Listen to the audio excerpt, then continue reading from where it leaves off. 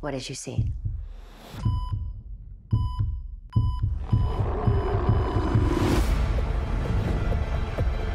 Something bit you. You're like us now. Just like us.